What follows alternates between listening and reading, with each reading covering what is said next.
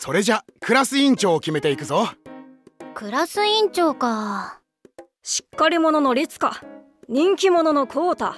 不思議ちゃんの穂積。迷うな。ここはしっかり者の律香がいいんじゃない？よくちょっと男子って言うしでも穂積もよくレッツダンシンって言うよ。ただ陽気なだけじゃない。はっきり意見を言えるコーダも委員長としてはめっちゃ安心なんだけどな。しつこい。それじゃあ今回は選挙の形式で決めたいと思う。選挙？そうだ。このようなクラスにしていきたいという約束事。これを公約という。その公約を聞いて最後に投票でクラス委員長を決めるんだそしてここにいる3人のことを。律香コータ穂積3人合わせて立候そう立候補者と呼ぶ。補先生なんで突っ込まないの？打ち合わせしてたんだろうね。まずは最初の立候補者律香の公約から始めよう。みんな聞き逃さないように。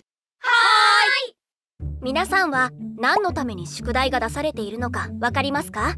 宿題？授業の復習をするためでしょ？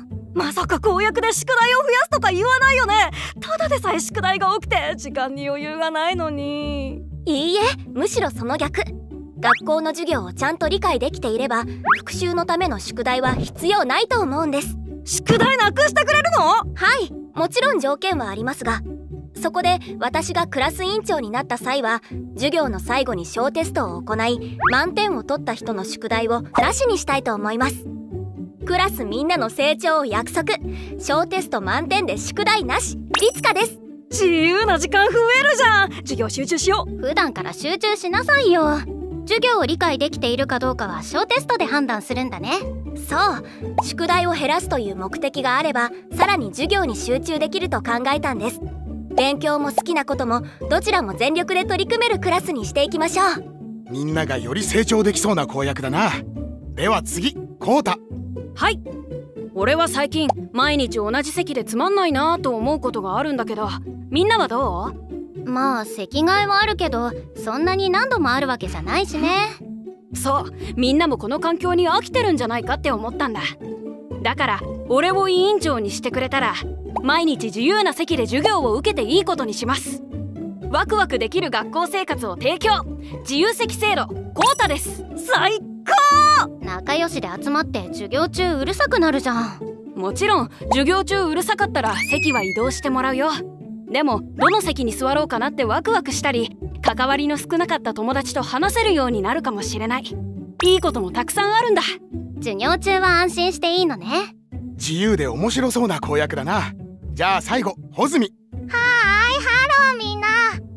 私の公約はクラスで一匹のペットを飼うだよ。えペット？それ公約っていうか個人的な要望じゃ。は可愛いペットをお迎えしてみんなで協力できるクラスに穂積です。何買うの？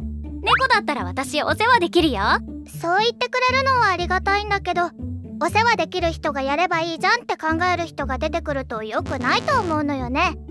みんなが率先して協力できるクラスにしたいってことでこの中で誰も飼ったことがなさそうな変わった動物を選んでるところよ。えー、私たちで飼えるの？なんか燃えてきた！きっと可愛いわよ。ちなみに先生お休みの日はお世話の方よろしくお願いします。初耳だぞ。まあでもクラスみんなが協力できる立派な公約だ。実現後が楽しみだな。